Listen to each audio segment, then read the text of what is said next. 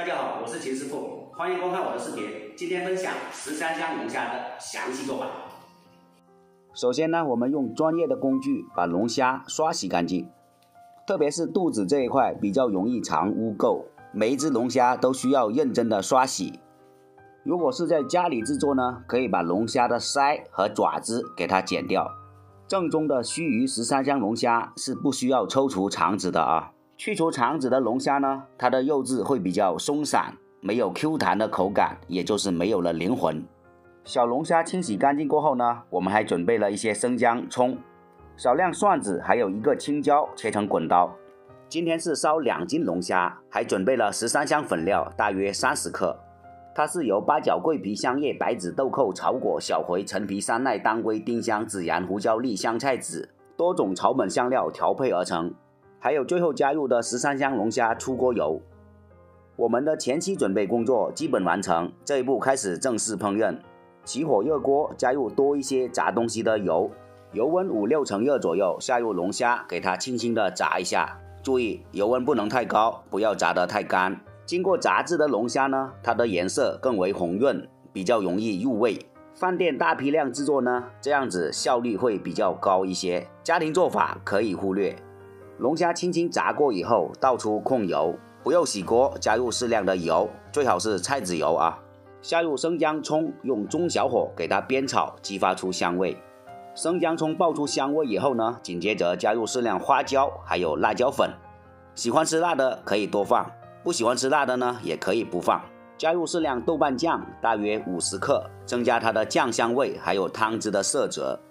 然后用中小火煸炒，炒出红油。尽量多炒一会，把它们的香味全部激发出来。前面忘记和大家说了，如果是专业饭店，可以用这种铝锅烧出来的龙虾不容易发黑。充分煸炒过后呢，紧接着加入半瓶啤酒，这个时候豆瓣酱的颜色就会马上出来了。然后加入清水，水的用量呢能没过龙虾表面即可，根据你烧的分量多少而定。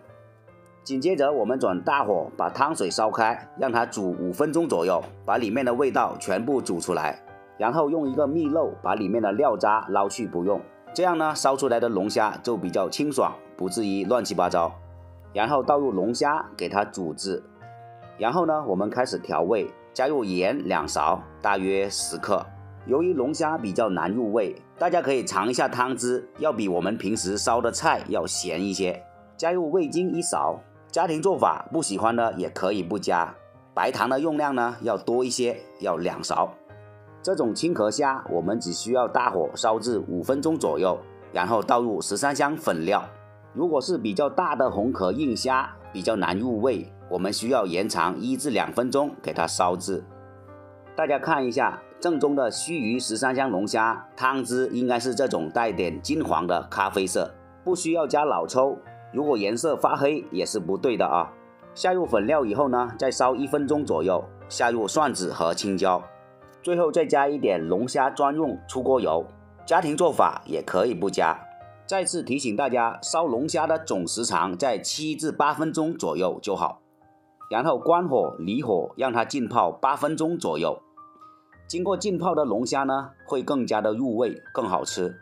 已经浸泡了十分钟，汤汁的味道已经完全渗进去，这个时候可以出锅。一道非常费啤酒的十三香龙虾制作完成，精彩短暂，创作不易。如果喜欢我视频，请给我加加关注，点个赞，或者转发给身边的朋友，谢谢啦。